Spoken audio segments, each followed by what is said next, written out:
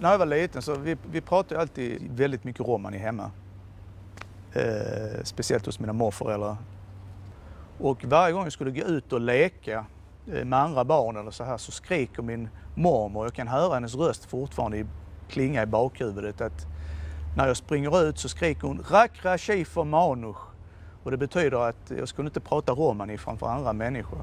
Det här med att tabubelagt inom min familj, min släkt och ja, inom hela vår grupp skulle jag nog vilja påstå.